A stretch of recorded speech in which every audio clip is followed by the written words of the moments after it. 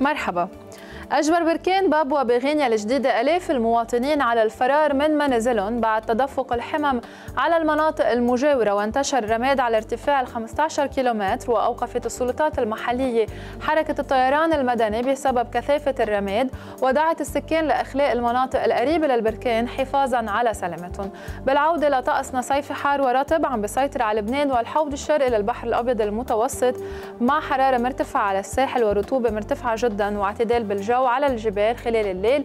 الرطوبة عالية عم بتكون وعم بتؤدي إلى خطيط قوية على الجبال المتوسطة بفترة المساء. بحر متوسط الموج وحرارة 130 درجة. اليوم طقسنا رح يكون غائم مع انخفاض بسيط بدرجات الحرارة على الساحل وبداية ارتفاع بالحرارة بالمناطق البقعية مع خطيط قوية على الجبال بفترة المساء وتساقط بعض الرذاذ الخفيف.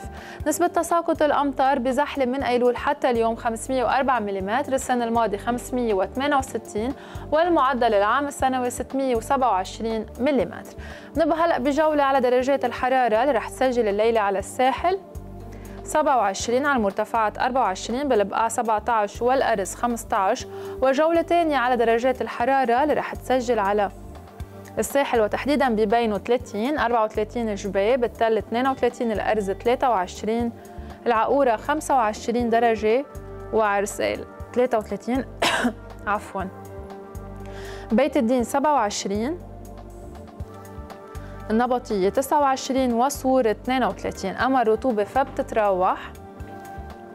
بين 65 و 85% حرارة سطح الماء 30 درجة وسرعة الرياح بين 15 و 35 كم بالساعة رياح جنوبية غربية. أما كيف رح يكون طقسنا اليوم واليومين اللي جايين؟ ف 26 32 الخميس 27 32 والجمعة 27 33 أقصاها. بنبقى هلأ بجولة على درجات الحرارة ببعض العواصم العربية والعالمية.